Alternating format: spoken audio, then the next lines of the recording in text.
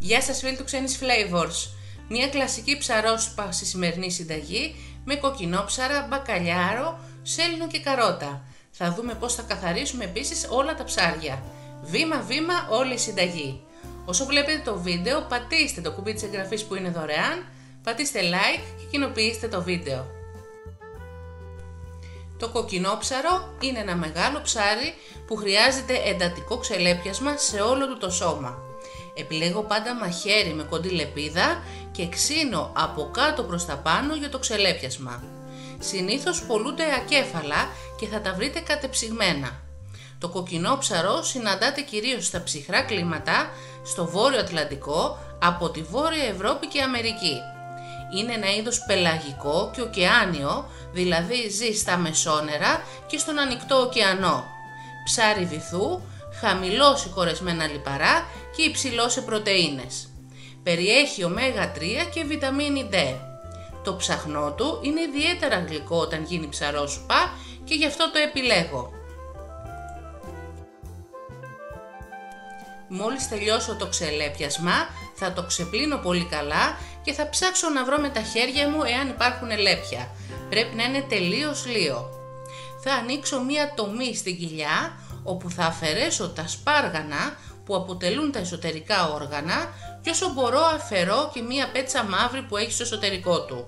Δεν είναι ωραίο να φαίνεται όταν σερβιριστεί και γι' αυτό όσο μπορείτε να την αφαιρέσετε.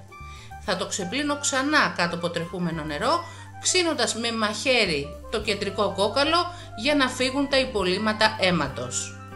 Δώστε μεγάλη προσοχή στο κοκκινόψαρο. Η ραχοκοκαλιά του, δηλαδή το πάνω μέρος, τρυπάει πάρα πολύ, είναι αγκαθωτό και γι' αυτό δεν πρέπει να το πιάσουμε καθόλου από εκείνη την πλευρά όταν θα το καθαρίσουμε.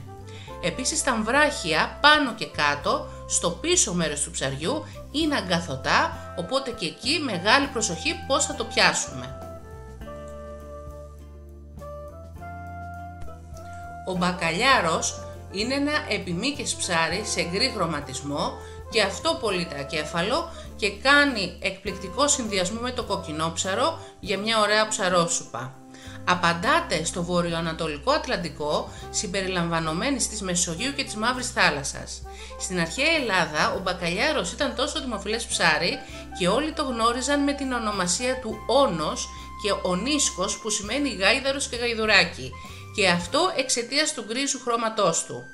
Πολύ λιγότερα λέπια συγκριτικά με το κοκκινόψαρο, αλλά και αυτό θα το ξελεπιάσουμε όλο εντατικά. Θα το ξεπλύνουμε κάτω από τρεχούμενο νερό και εδώ η μεγάλη διαφορά στο καθάρισμα. Θα το κόψουμε στη μέση και στο πάνω μέρος θα κάνουμε μία τομή εσωτερικά και θα αφαιρέσουμε τα εντόστια. Δεν έχει σπάργανα αλλά εντόστια. Καθαρίζουμε από πέτσες το κεντρικό κόκαλο μέχρι να ασπρίσει τελείως.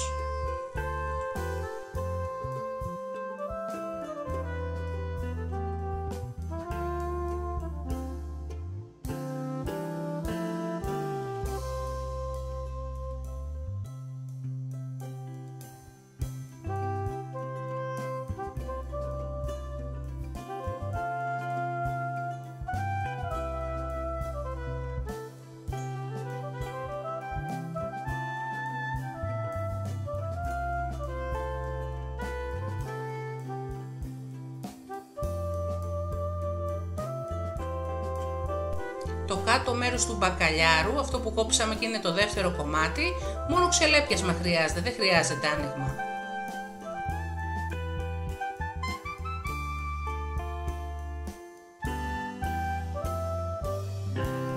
Όπως είδατε κάναμε σχολαστικό καθάρισμα και στα δύο τα ψάρια, χρειάζεται εξάσκηση και προσπαθήστε το. Θα προσθέσουμε τώρα χοντρό αλάτι ιδιαίτερα στις κοιλιές και θα μείνουν σκεπασμένα τα ψάρια στο ψυγείο για 20 λεπτά.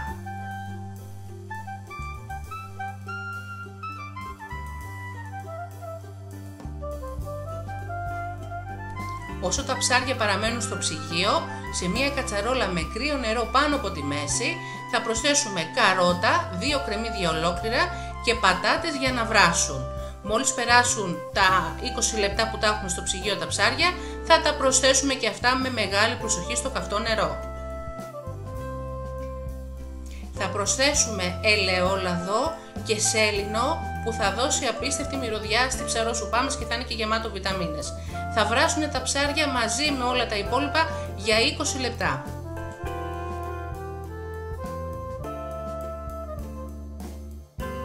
Μόλις περάσουν τα 20 λεπτά, σουρώνουμε με μια τρυπητή κουτάλα ό,τι βρίσκεται μέσα στην κατσαρόλα, με μεγάλη προσοχή να μιλιώσουν και σε ένα σουρωτήρι περνάμε τη σούπα, δεν θα χρειαστεί του λουπάνι, με ένα σουρωτήρι αρκεί για να φύγουν αν υπάρχουν μικρά κόκαλα. Θα την ξαναβάλουμε να βράσει τη σούπα μαζί με μισή κούπα ρύζι γλασέ. Δεν χρειάζεται παραπάνω ρύζι, θα βράσει η σούπα για 20 λεπτά.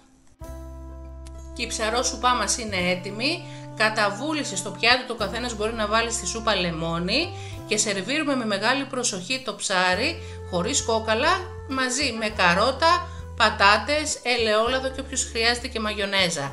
Είναι μια κλασική ελληνική συνταγή, δοκιμάστε την και πείτε μου τις εντυπώσεις σας. Κάτω στο link σας έχω βάλει επίσης τα ψάρια και οι βιταμίνες και άλλες συνταγές μου.